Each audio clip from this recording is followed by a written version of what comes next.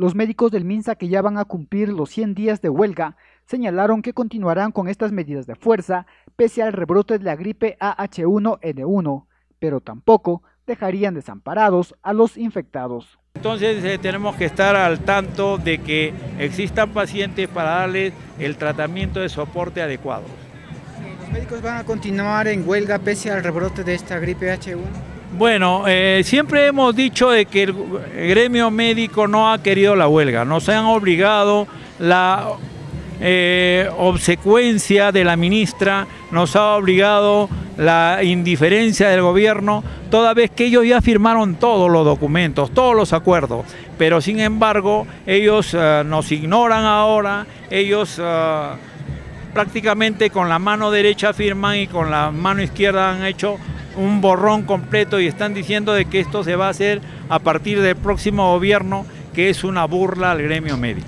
Ellos esperan que este 20 de agosto el Congreso de la República apoye la huelga médica y no respalde al nuevo gabinete de ministros. Vamos a continuar, pero vemos con alguna esperanza de que este gobierno, ante la imposibilidad de que el, gabinete Jara pueda ser eh, apoyado por el Congreso, toda vez que hay bancadas completas que están a favor del levantamiento de la huelga médica y su solución respectiva, eh, están ellos desesperados en resolverlo. El médico cirujano Juan Izaguirre, presidente del cuerpo médico del Hospital Daniel Alcides Carrión, habló de las cosas que no estarían de color de rosa dentro de este nosocomio regional.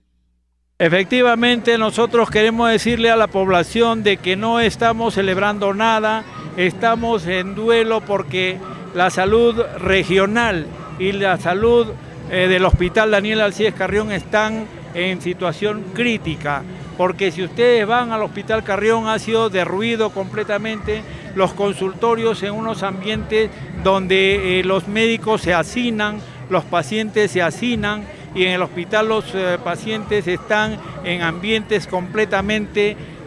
no aptas para la situación y la condición del ser humano. Por eso estamos de duelo y nosotros acusamos al director nuestro, acusamos al expresidente regional que ahora postula por la reelección y le decimos no a la reelección, eso es corrupción, va a empeorar la situación de salud del pueblo juninense y nosotros no podemos permitirlo.